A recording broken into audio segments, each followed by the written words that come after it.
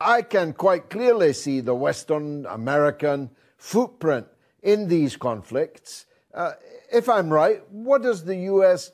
seek to gain from them? One of the he just won this massive election electoral victory. 85% of the people voted for him. Uh, the Ethiopian people want Abiy to transform their country.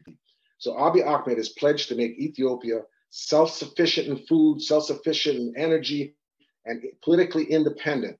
And this is a threat not only to the United States but to the, the EU.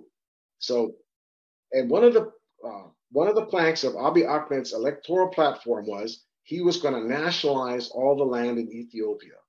Now, this has been said to be done before in Ethiopia, but this is a threat to the investment uh, of the, particularly the European Union. You see, the EU is dependent upon sucking the blood of Africa to maintain the high standard of living of their people. They've been pretty much, uh, they can't control, they can't exploit, super exploit Latin America and Asia like they used to. All they can, the only place they can really, literally loot and plunder is in Africa. For example, Anglo American Gold has been running one of the biggest gold mines in Africa and Tanzania, and they only pay Tanzania a 4% royalty.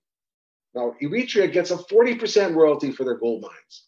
Now, if Europe has to start paying a fair share of the exploitation they're doing in Africa, they're not going to be able to continue to maintain the high standard of living the, the social security and the education and the medical care that they provide to their, to their people. And they're already facing discontent in Europe.